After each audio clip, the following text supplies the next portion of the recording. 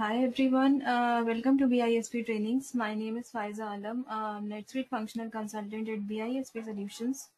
In today's session, we will uh, get to know about the uh, vendor bill in the NetSuite application. I mean, how can we enter a vendor bill in the NetSuite application? First, uh, we will know about what is a vendor bill. So, a vendor bill is an invoice that is received from a vendor for the goods and services that is purchased uh, from uh, a vendor. It is considered as an expense for the company. Uh, the vendor bill transaction records payables as uh, uh, whenever it arrives uh, from the vendor and it also allows the payment of it when it becomes due. Um, it helps in giving the accurate picture of the payables at any point of time during the entire billing cycle. Uh, if we talk about the ways uh, from which we can enter a vendor bill, so there are two ways around. Like we can send a request via purchase order which is existing like uh, purchase order is you know uh, can be created for expenses and items uh, but uh, we can say that a vendor bill can be entered from a, from an existing purchase order first and then we can convert the received items into the vendor bill and uh, if not uh, if we do not want that uh, so we can directly create a vendor bill which is a standalone vendor bill or we can say an individual vendor bill that we will know in our so this is my moving on to the netsuite application. This is my netsuite dashboard. So uh, we have discussed uh, just now that uh, the vendor bill a vendor bill can be entered in two ways so if we take the first way, like uh, if we uh, want to associ associate any vendor bill with the purchase order, so uh, for that we have to go into the purchase order under the transaction purchases and enter purchase order and list. As we have already opened a purchase order list. So here a purchase order list is uh, uh, appeared before us. So for uh, entering a bill, we have to take that purchase order which is pending for billing. Like I am taking here this ALO uh, system limit. All right, now under the process tab, we we can see that we are having this bill option. So we will click on this uh, tab bill for entering a bill for this particular purchase order.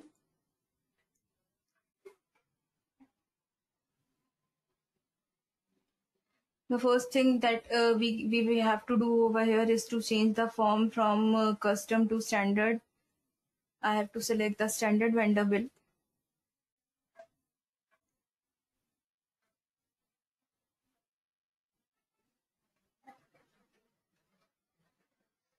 So everything is given uh, in this uh, bill tab. You can see the vendor name is here, amount, the available vendor credit limit is here exchange rate, currency, due date. If we want to change this due date, we can change it from here. I'm not changing it.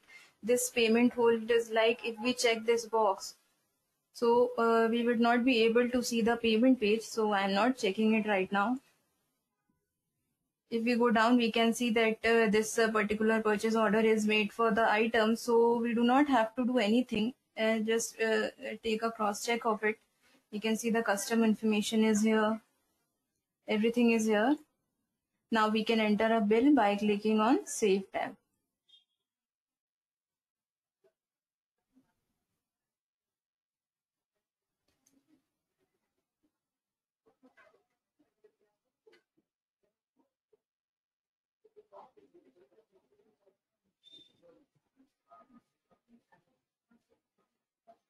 So here we can see that the transaction has been successfully saved. Uh, we have entered a bill.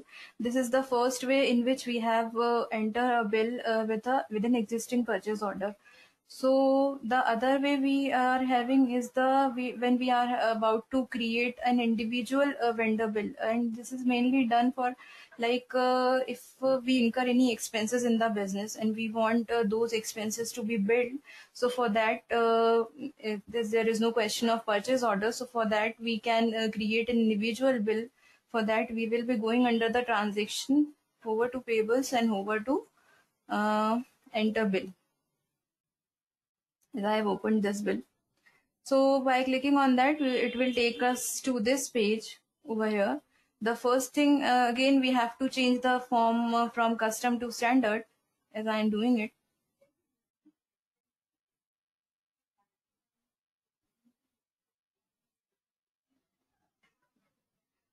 Um, we have to, as this is an individual bill, there is no uh, vendor that is associated uh, with it as we have done in the purchase order. So first thing, the second thing, sorry, uh, that we have to do is to select the vendor from the list. Like uh, I'm taking here this BISP professionals.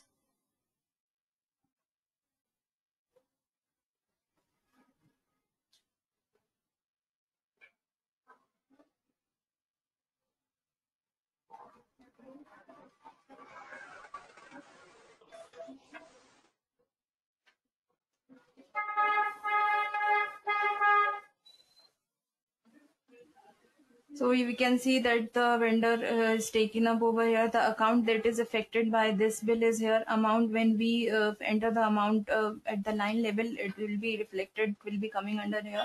Currency is already here according to the subsidiary that we have selected. The subsidiary that, that is associated with this vendor. Exchange rate is here if any discount amount is required to be given payment hold we have I, we have discussed it earlier. Uh, that today's date is here uh, if we want to change the due date like i can change the date over here like i am taking here 26th of march and uh, we have to provide a memo as uh, it is an individual uh, vendor bill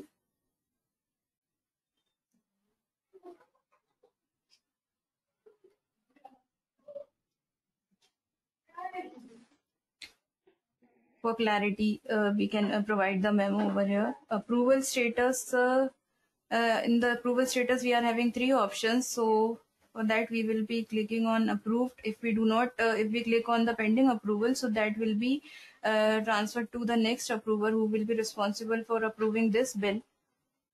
So if we go down here, as I have told you that we have to enter this bill for any expense. So I will click on expense over here. The first thing we have to select is to select the category uh, like I am taking here the billable. The account is already been taken up that is associated with this category amount. Uh, we have to mention the amount over here. Tax code, tax rate is already here. You can see that the gross amount is already been taken up by the amount and tax code. If any memo, department, class, location is required to be provided, we can provide it over here. We will click on add. Uh, next uh, we have to provide some uh, mandatory details over here like LNT quality and product quality.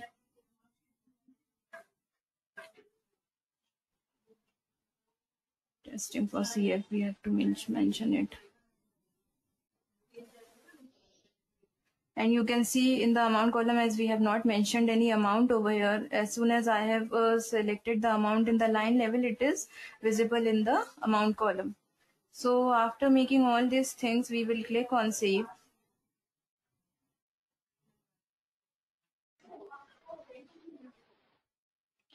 And now you can see that the that our bill has been uh, successfully uh, entered uh, it is open for all. Either we want to credit it or make payment of it so we can do it. So this is how we can we can uh, go down. We will see that the uh, bill for uh, which expense like uh, grant expense so for the amount of 3000 has been entered over here. And if we want to make payment of it we can do it so this is all from my side. In case of any questions, queries and consultations, feel free to write to us at www.bispsolutions.com. Thank you.